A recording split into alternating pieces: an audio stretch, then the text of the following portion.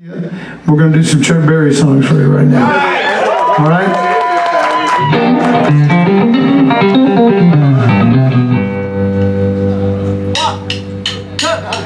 One.